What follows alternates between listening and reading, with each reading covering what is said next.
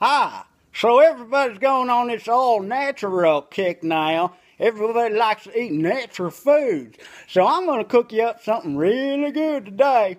What we're going to start with, we're going to have a little paprika. See that there? That's paprika. Put it in the pan. Yep. See that? And then we're going to have some oregano. That's going to be good. It's going to be good. See? Go on in there. Get us some beef bouillon. See? Y'all natural folks to love this. Then we get some onion powder. Onion, onion, see? All right. Got a little onion powder in there.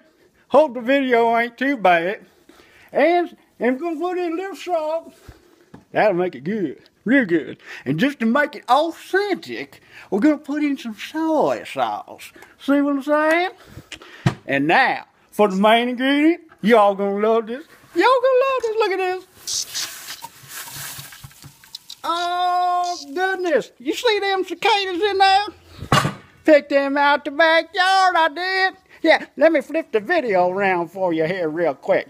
No, it ain't working. Damn phone. See that? Mm-mm. That's going to be good. It's going to be good, I tell you. So let's turn it on high.